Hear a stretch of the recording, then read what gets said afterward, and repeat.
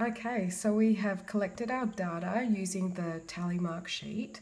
Now what we need to do is use this data and put it into a bar graph. Now, how do we do the bar graph? It's very simple. So what we first need to do is have a title for the bar graph. So in this case, we are going to call it, which cake do we like the most? So just like a story, we just put a name on the top. So which cake do we like the most? Okay, now we have two, two lines, one on the left hand side, can use our ruler, just go straight down, and another line this way, going from left to right. Now these lines are both called axis. Now this this axis axis is for numbers. So in this case we would write the number of people. Number of people. So this would signify the number of people that like which cake and this axis down here we would use it for the types of cake. Okay, now if we have a look at our tally mark sheet, so my one is on the computer, we need to look for the biggest number. So the biggest number is 11. So this would mean the top number would be 11. So I would start from 0 in the corner and then one, two, three, four, five, six, seven, eight, nine, ten, and 11 on the top.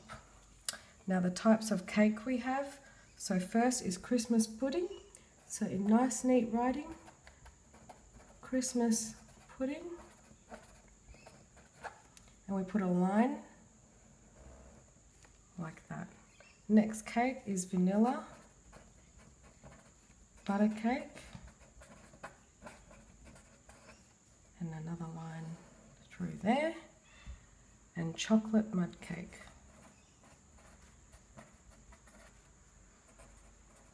Mud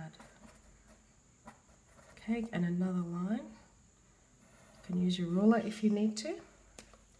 So now what we need to do is first is the Christmas pudding. So we have nine Christmas pudding so what I need to do, or this is what we should have done earlier, is put a little dot just so we know where to go. Okay. So nine people like Christmas pudding.